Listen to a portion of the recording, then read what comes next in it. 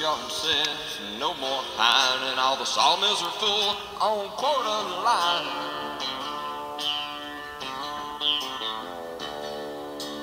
Diesel is up and the profits are down. Only people making money is them banks downtown. I've logged the Carolinas and Tennessee. I've cut wood throughout the whole southeast. I run a cat in the woods and a Pete I drive, and a logger man can survive. Logging folks can survive.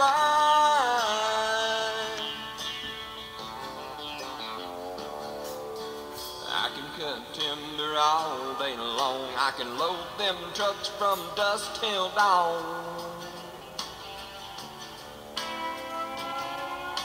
We make our own roads and our log decks too. Ain't too many things these old loggers can't do.